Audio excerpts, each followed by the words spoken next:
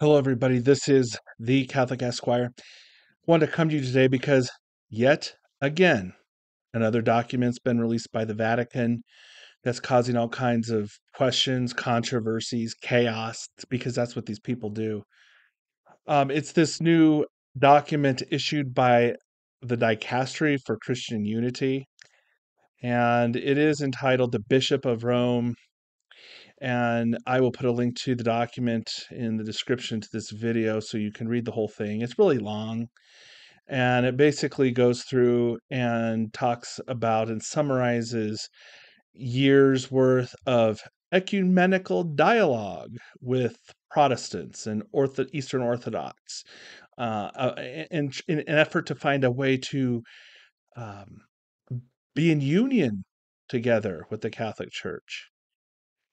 Now, for normal, right thinking Catholics, when we hear about these things, there should only be one response that should initially come to mind. Well, if there's going to be union together with Protestants and Eastern Orthodox and whatever, then what needs to happen is is those people need to convert to become Catholic. And then we will have unity because the Church of Christ is the Catholic Church. That's what the church has always taught. Uh, is recently up through Pope Pius XII, but well before that, that's what was always the understanding of the church. My last video, when I talked about the errors of Vatican II, and I ex- talked about ecum- uh, ecumenism, ecumenism, uh, ecu- uh, and and I talked about this, and I said that's what the church has always been. Second Vatican Council and Lumen Gentium changed that. Remember, uh, the Church of Christ is no longer the Catholic Church. Now, the Church of Christ subsists in the Catholic Church. And I explained to you what a big deal that was. This is more bad fruit of the Second Vatican Council. This is exactly what we're talking about here.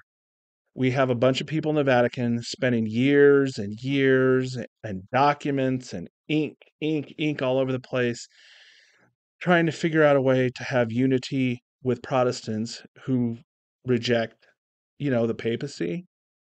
So rather than working on ways to bring them into the church and get their conversion, what the people in the Vatican are doing, and they figured out in their brains, is that, oh, hey, what if we just change the papacy? Because the papacy is such a big obstacle to communion what if we just change the papacy around a little bit in order to make it more pleasing to them? In which case, then we can say we've bridged a gap. We have now more unity because we are all in agreement on what the Petrine ministry really is and should be and how it should be exercised. That's the purpose of this Bishop of Rome document. And what they're telling you is actually nothing new. The modernists have been talking about this for years uh, that they think there should be ways that we can change the papacy, especially the way it's exercised, in order to appease the Protestants, appease the Lutherans, appease the Anglicans and the Eastern Orthodox, to get past some of those hurdles. Uh, for those of you who have also been paying attention to this channel, I've done several videos on why I said Benedict the 16th never resigned the office of the papacy. What he did was resign the active uh, component of the overall Petrine ministry, which is more of a new modernist concept, uh, and then retained or remained in a way as a passive player, which opened the door for a conclave, which was never a real conclave, to elect Francis, who is cannot possibly be the real pope because Benedict never completely resigned the papacy. I bring all of that up because those of us who understand what was wrong with Benedict's resignation also understand that what he was doing was very consistent with what the modernists have been teaching about the need to change the office of the Pen- the Petrine ministry to change it in the way it's exercised. Now, the talks and the discussions with the modernists since the 1970s, especially Karl Rahner, but yes, Ratzinger before he was Pope. Uh, they even wrote a book together on this. Uh, the the talks have always been about changing the nature of how the papal office is is exercised, uh, to be more ecumenical, to appease the Protestants. So this is no surprise to us, and this is it, it may be a surprise to other people, uh, you know, who aren't interested in really digging into why Benedict didn't resign. They just accept what they're told without questioning anything that they get from Catholic Answers or other mainstream norming Catholic media. Uh, you know, they don't really do the deep dive, and so they probably haven't really heard some of these arguments. Uh, but this is the Archbishop Miller dissertation. This is uh, all part of this, and it was certainly something Benedict signed on to. So this is more of the uh, the ultimate consequences of what we're seeing here. Uh, the errors of Vatican II we we see come to fruition. Uh, you're going to see them reiterate uh, another error, uh, collegiality, that was in the Second Vatican Council too. Uh, that's actually going to be the next part of my series on the errors of Vatican II is on the error of collegiality.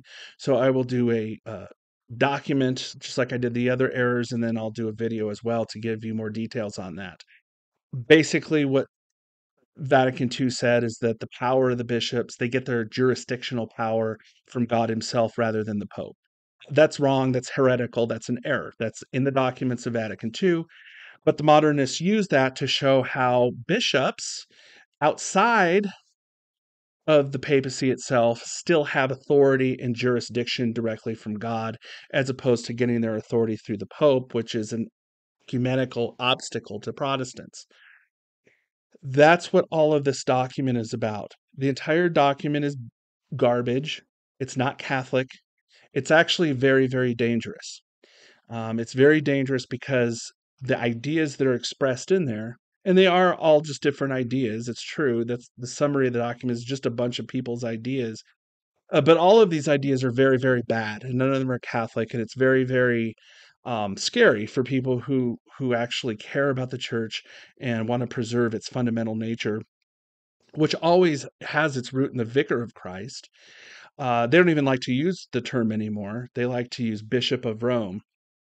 But um, yes, at the end of the day, what's happening here, just so you understand, and you may not feel like reading that huge document, the point of what's happening here is they're trying to find a way and justify using the Second Vatican Council, a failed council, uh, to change essentially the nature of the papacy. Not necessarily get rid of it, but they want to change it in the way it's exercised. And, you know, whether that's having uh, more synodality, maybe a, a, a synod, synod, a synod, a synod that participates in the Petrine ministry. You know, having more than one person, perhaps even more bishops, uh, even lay people, um, or maybe having two people that exercise and expand a Petrine ministry. Uh, I'm just throwing out ideas here, but the point is, is that they're looking to change the way the they call it the Petrine ministry is is exercised. That's the whole purpose of the document, and it's it's not Catholic. It's extremely dangerous. Um, but it also gives some lends some support to what those of us who knew Benedict never resigned properly or completely have been saying now for years. This is this is all part of the modernist program. It's very consistent with it, and it's all rooted and grounded in the errors of the Second Vatican Council.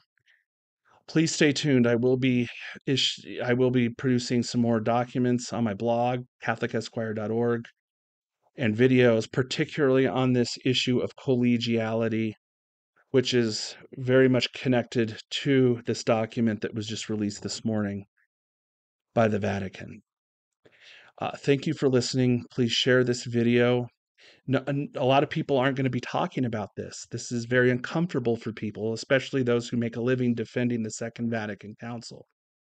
Um, but there, there, at some point, it's going to be impossible to start denying that what's happening due to the errors contained in the Second Vatican Council is the creation of a new church that's intended to replace and ultimately destroy the remnants of the real Catholic Church.